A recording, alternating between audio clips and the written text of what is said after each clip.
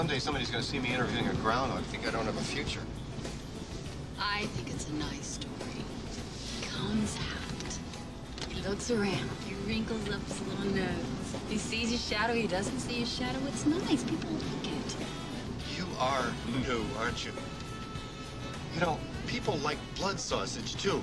People are morons. Nice attitude. I want you to look in the mirror and see what you look like when you do that little groundhog thing, okay? For me, let's...